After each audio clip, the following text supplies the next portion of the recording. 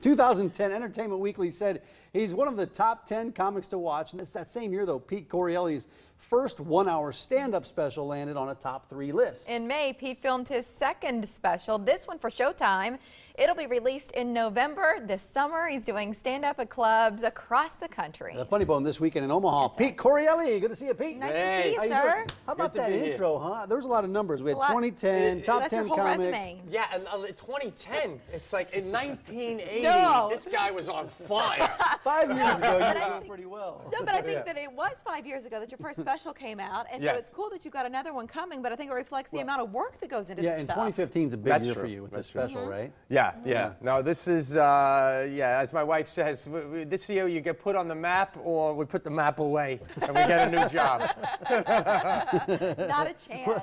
What's the deal with this special, though? Tell us about this. Uh, well, I filmed it in Chicago, and um, I wanted to film it in New York, where I live and stuff, but uh, tax purposes made it easy to do it in Chicago. Uh-huh. But no, I filmed it, you know, for Showtime, and um, it was great. It was great. It comes out, like I said, in November. Yeah. The difference about Showtime and Comedy Central is the audience is a more is adult, more you know. Comedy Central mm-hmm. tends to have a young audience. Mm-hmm. Mm-hmm. Um, this is not very exciting. What I'm saying right now, I'm looking out at the audience. I'm under a lot of pressure. There's a comedian that was in here the other day, and he goes, "T.J. Miller was on the show. He was so funny, it went viral, and he sold out. He could have been the next mayor of Omaha if he wanted to do that." So all night I'm at home in the hotel room drinking my beer, going, "How am I going to be funny tomorrow with these two? And I come on, and you're plugging something from 1972 right out of the gate. Stop it. Oh, We're this is a plugging something from 2015. By the way, I heard you were the Italian of the year. No, last hey, we got a hear you're paisan. in with the Sons of Italy. They booked me for a gig, and then they canceled the gig. I think it's because they found out I'm half Irish. If any of you sons are out there listening, I know what's going on. Sons of Italy. mafia crap going on with I'll get you down there. We'll Got to take you be down totally Italian No. to do a gig for these Guidos. You're in with Mike. You're in anywhere. What? You with Mike? You're in anywhere. there. We'll, Yeah. we'll take you down He's there. royalty You don't around want to- here. no, but Italian, so though, did you grow up Italian? Did you uh, eat meatballs and spaghetti or what?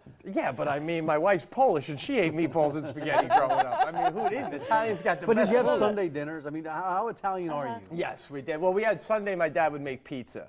Yeah. That was our Sunday uh-huh. dinner, homemade pizzas, which was basically raw dough with some sauce on it. He never uh-huh. cooked it long enough. Right. Well, like his great aunt Sarah, he says makes the best pizza ever. Yes, yes, Oh, Sarah. yeah. He, Yeah. he gets deep into It's the Italian stuff. heritage, Yeah. culinary Yeah. stuff.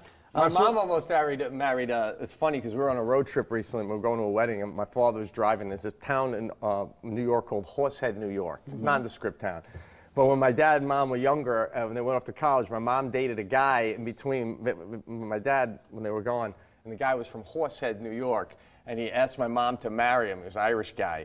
And she said, no, because I'm dating this other guy. It was my dad. And the guy sold shoes for a living. So now every time, and this we haven't been by Horsehead in years, but every time we go by Horsehead through the years, my father's so Italian, he'd be like, yeah, Horsehead, you could have been living here with a guy who sells shoes. I saved your mother's life. Horsehead.